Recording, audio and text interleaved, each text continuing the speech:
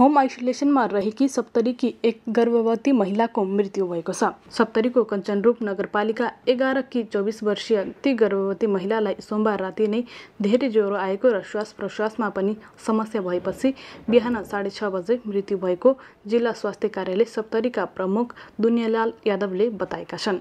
दस दिन अगाडि नै ती महिलालाई एक सय दुई डिग्री ज्वरो आएको र श्वास प्रश्वासमा पनि समस्या भएपछि उनलाई गत जेठ आठ गते राजवीरा स्थित डॉक्टर विनीता यादव यादवको क्लिनिकमा उपचारका लागि लगिएको थियो।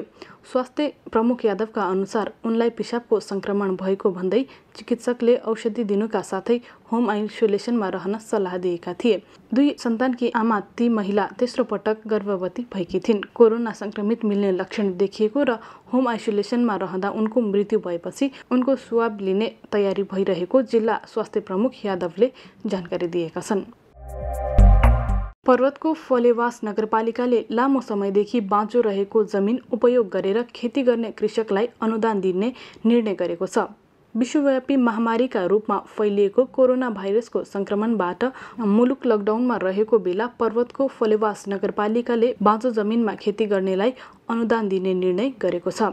उत्पादन बढाउन र खाद्य सङ्कट नहोस् भनेर किसानलाई अनुदान घोषणा गरिएको फलेवास नगरपालिकाका प्रमुख पद्ममणि शर्माले जानकारी दिएका छन्। नगरको कार्यपालिकाको सोमबार बसेको बैठकबाट कोरोना भाइरस सङ्क्रमण थप फैलिन सक्ने र खाद्यान्न सङ्कट समेत निम्तिन सक्ने भन्दै बाँझो जमिनमा खेती गर्ने प्रोत्साहन गर्ने नीति अघि सारिएको नगर प्रमुख शर्माले बताएका छन्। नगरपालिकाले दुई वर्षभन्दा बढी समय बाँझो रहेको जमिनमा खाद्यान्न खेती गर्ने किसानलाई अनुदान दिने निर्णय गरेको छ।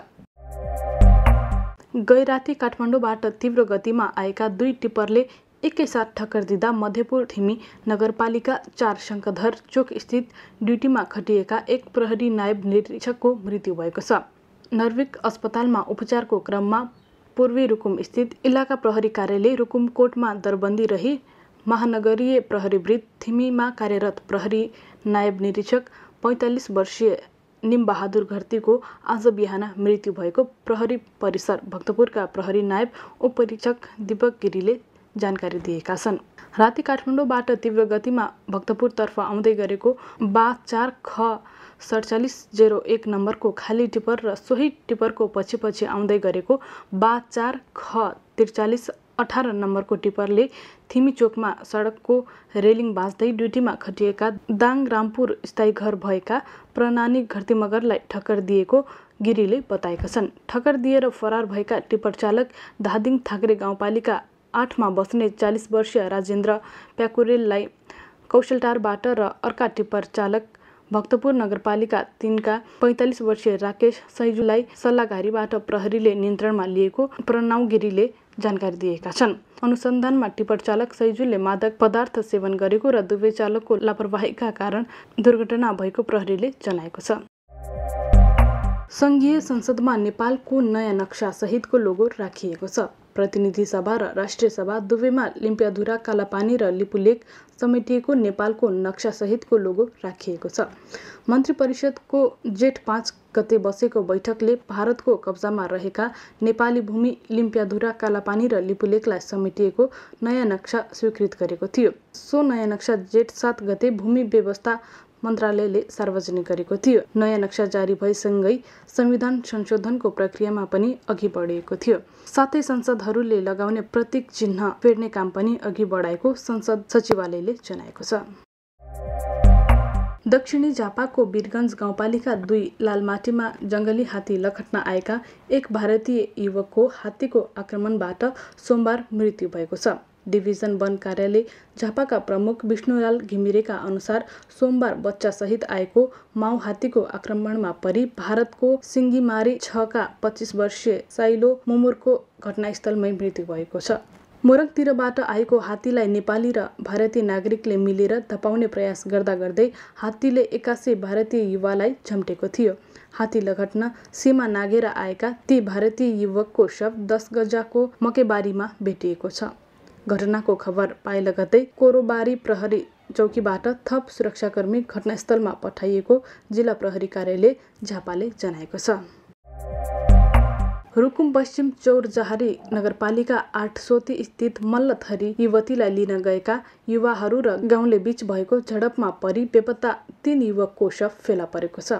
बेपत्ता चार युवाको अवस्था भने अझै पत्ता लाग्न सकेको छैन। घटनामा संलग्न चौरजारी नगरपालिका आठका वडा अध्यक्ष डम्बर मल्लसहित स्थानीय बाह्रजनालाई पक्राउ गरेको जिल्ला प्रहरी कार्यालय रुकुम पश्चिमका प्रहरी नायब उपरीक्षक ठक बहादुर केसीले जानकारी दिएका छन्। घटनाका घाइते आशिष विक सरोज भडेलले आफूहरूलाई सोती पुगेदेखि नै जातीय विभेदकारी गाली गलोच गर्दै ढुङ्गा मोडा समेत गरेको दावी गरेका छन् प्युठान क्वारेन्टाइनमा बसेकी एक महिलाको मृत्यु भएको छ। इरावती गाउँपालिका वडा नम्बर छ बिजुली जनता माध्यमिक विद्यालयमा निर्मित क्वारेन्टाइनमा बसेकी मल्लरानी गाउँपालिका वडा नम्बर चार गहतेराकी छब्बिस वर्षीय महिलाको निधन भएको जिल्ला प्रहरी कार्यालय प्युठानका सूचना अधिकारी विष्णुप्रसाद पौडेलले बताएका छन्। उनी लामो समयदेखि ब्रेन ट्युमरको समस्याबाट पीडित भएको प्रहरीले जनाएको छ। महिलासँगै उनका श्रीमान भाइ र दुई छोराछोरीसहित यही जेठ आठ गते भारतबाट नेपाल आएको र उनीहरूलाई एउटै कोठामा राखिएको एरावती गाउँपालिकाका स्वास्थ्य शाखा प्रमुख राममाया गुरुङले जानकारी दिएकी छिन्। नेपाली काङ्ग्रेसका सभापति शेरबहादुर देवालले कोरोनाको जोखिमका बेला देशभरका पत्रकारका लागि स्वास्थ्य सुरक्षा सामग्री उपलब्ध गराउन सरकारको कर्तव्य भएको बताएका छन्। नेपाल प्रेस युनियनको उन्तिसौँ वार्षिक उत्सवका अवसरमा आज जुम प्रविधि मार्फत आयोजित कार्यक्रमलाई सम्बोधन गर्दै उनले देशभरका पत्रकारको निशुल्क कोरोना परीक्षण गरेर पत्रकारिता क्षेत्रलाई सुरक्षित गर्न सरकारसँग माग गरेका छन्।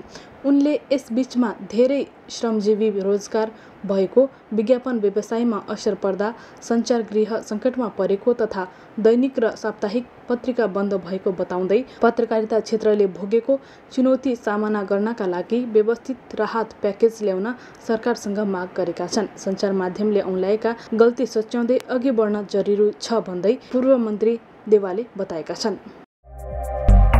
प्रहरीको गस्ती टोलीले लागु औषध र राजनिवाससहित सिराहा नगरपालिका सत्र स्थित सीमावर्ती क्षेत्रबाट एक युवकलाई पक्राउ गरेको छ।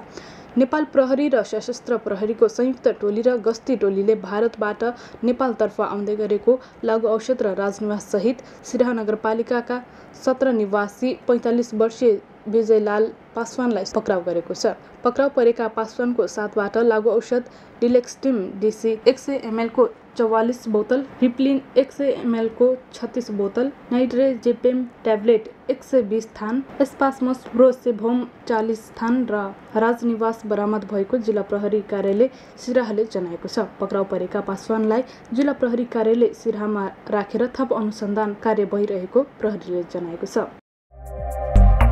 बाह्रमा नेपाली सेनाका दुईजना सहित पाँचजना व्यक्तिमा कोरोना भाइरसको सङ्क्रमण देखिएको छ। सङ्क्रमित सेनाका दुईजना क्वारेन्टाइनको सुरक्षामा खटिएका र बाँकी तिनजना भारतबाट आएका स्थानीय रहेको नगरपालिकाको स्वास्थ्य शाखा प्रमुख नवल किशोर यादवले जानकारी दिएका छन्।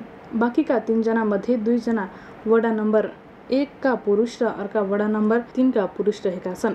सबै सङ्क्रमितलाई कलैया स्थित जिल्ला अस्पतालमा पठाउने तयारी भइरहेको छ।